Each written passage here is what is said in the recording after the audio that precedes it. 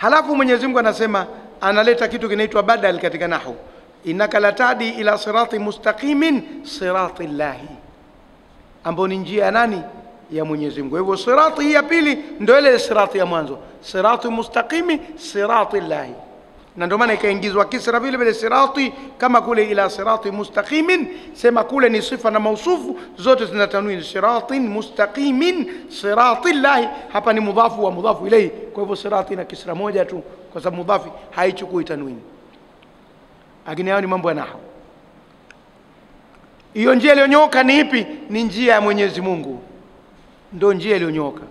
Ya shetani haijanyooka, ya binadamu haijanyooka. Iliyonyooka ni ile ya Mwenyezi Mungu alioiweka yeye. Imetafsiriwa vizuri, sirati llahi, njia ya Mwenyezi Mungu aliotuwekea sisi tuipite katika maisha yetu ya dunia, kwenye kumwabudu yeye na kwenye kuishi hapa duniani. wa anna hadha sirati mustaqiman fattabi'uhu wala tattabi'u subula fatafarraqa bikum an sabili. Sirati llahi, njia Mwenyezi Mungu, alladhi, ambayo Mwenyezi Mungu ambaye lahu ni vyake ma fi samawati wa ma lardhi, ardhi, vilivyomo ndani ya mbingu na ardhi. Na hiyo ndio sababu ya kwamba njia aliyoiweka yeye ndo ya kupitwa, kwa sababu vyote hivi vya ulimwenguni vyake. Sasa unapita njia ya nani tena?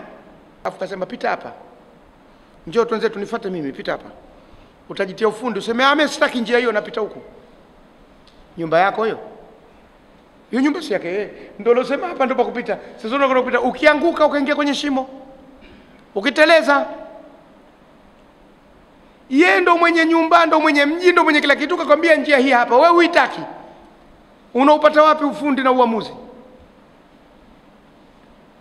Sasa ikiwa ni vyake Mwenyezi Mungu, lahu ma fi samawati wa ma fil ardhi, ni vyake vilivyomo ndani ya mbingu na ardhi, akasema njia ndio hii hapa, piteni. Tena mnatafuta njia gani nyinyi ya kupita?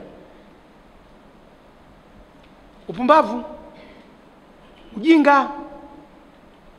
Ndio maana akasema sirati llahi, njia ya Mwenyezi Mungu, alladhi, ambaye lahu ni vyake, ma vilivyomo fi samawati, katika mbingu, wa ma na vilivyomo fil ardhi, katika dunia, vyote ni vyake. Piteni njia hiyo unaitaka.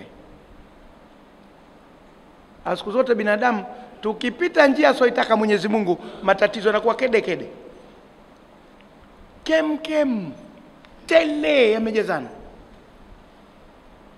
Matatizo ya ulimwengu kwa asilimia kubwa ni watu kukataa kufuata kanuni alizoziweka Mwenyezi Mungu, zozote zile. Ukiacha kufuata, hata kwenye mwili wako ukaacha kufuata kanuni alizoziweka Mwenyezi Mungu, utapata tatizo.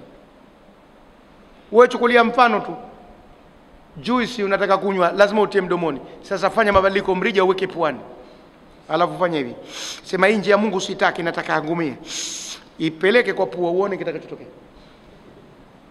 Si kwa sababu umekataa kupita njia ya Mwenyezi Mungu alioiweka.